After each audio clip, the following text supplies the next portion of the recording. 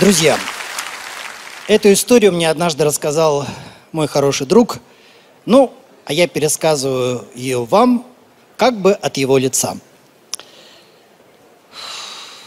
В прошлом году это было, летом. Поехали с друзьями поохотиться на зайцев. У меня домик свой в деревне, банька, все дела. Вчетвером поехали. Саня, Серега, я и мой кот с красивым славянским именем Фидель. Машина у меня хорошая, Нива. Вы сейчас из вежливости промолчали? Не, правда, ребят, хорошая машина. Нива, чтобы вы знали, самая быстрая машина в мире. Нива, даже когда стоит, у нее на спидометре 20 километров. В лес въехали, зайцы видны, но далеко, стрелять бесполезно. И тут Серега хватает ружьишко, выпрыгивает из Нивы, как рванет. Мы у него потом спросили, на кой тебе это надо было предпринимать? Ну, мы, конечно, короче спросили, намного короче. Тот говорит, думал, догоню. Там, конечно, логика. Погнался за самым жирным зайцем. Потерял его из виду.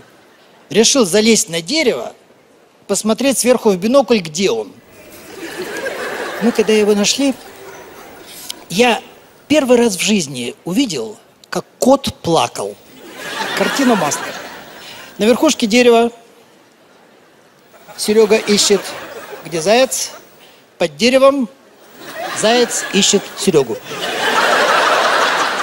Ну, после охоты баньку затопили, Фиделя в парную запихнули. Упирался гаденыш. Не понимает, мы же ему только добра желаем. Мы же все кошатники. Саня рассказывал, у меня кот, наверное, в прошлой жизни был полицейским. Каждый день проводит опись имущества. Я говорю, мужики, а над моим однажды вся поликлиника лежала. Привез кота свою на кастрацию. Ну, вроде все прошло хорошо. После операции сестра заполняет журнал, спрашивает, как зовут кота? Я говорю, вы не поверите. Фидель. Теперь уже Кастро. Вот так сидим, болтаем, паримся вчетвером, выпиваем втроем. Я не пил, и тут Саня на беду свою будущую разговор завел. Мужики, а я слыхал, в этих краях снежного человека видели. Как его по-научному-то? Ети. Серега говорит, а иностранцы вообще говорят, ети. Прости господи. Я им говорю, что-то определенно здесь есть, мужики. Ко мне ж прошлой зимой ученые из Европы приезжали по его душу. Наверное, эти етиологи. Дикий народ, дикий, ну из Европы. Прямо у меня здесь в избушке жили. Я им вечером говорю, если кому ночью надо по нужде, валенки в углу. Нет, они не этиологи, они этиоты. Слушайте, утром валенки были полные. Вот так сидим, болтаем. А из освещения у меня в парной только лампа керосиновая. Тут она возьми и погасни. Я говорю, мужики, посидите. Сбегаю в сарайчик за керосинкой. Ну и пошел же, в чем парился. Кто там видит? Что, мне смокинг надевать? В сарайчик захожу. Темнота. Полез на верхнюю полку. Ну надо тебя. Опрокинул на себя бочонок с олифой. Ну нормально, ополоснулся после баньки. А беда, она же не приходит одна. Стал обратно выходить, споткнулся и упал прямо на тюк с паклей. А пакля к Алифе пристает, как бабушка к Прохору Шаляпину. Лампу зажег, посмотрел на себя в зеркало. Мать честная, Кинг-Конг жив. Но вариантов нет. Надо к мужикам в парную. К двери подхожу, слышу, они там уже похожи с котом на брудершафт. Саня песню поет иностранную из нашей молодости про снежного человека.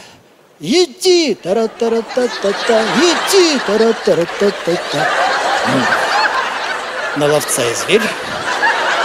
Дверь-то открываю, захожу с керосинкой и так участливо спрашиваю. Ты звал меня?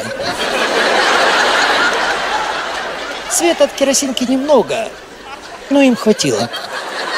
Я, я раньше и не думал, что человек может такой ловкостью обладать.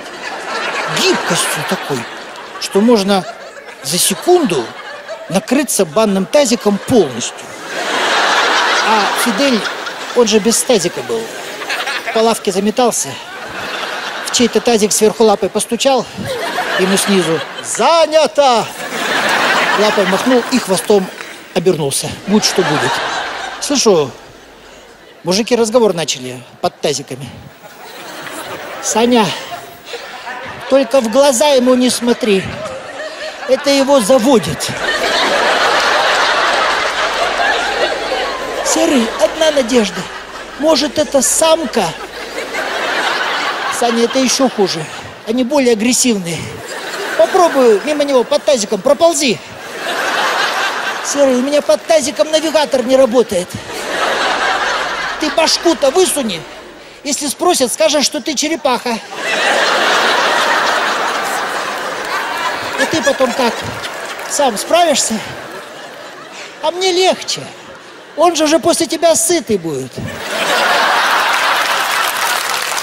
Как меня смех разобрал. Я говорю, мужики, да вы чего, это же я. Пауза, после которой слышен голос из-под тазика. Похоже, самец. Значит, шанс есть. Поползли.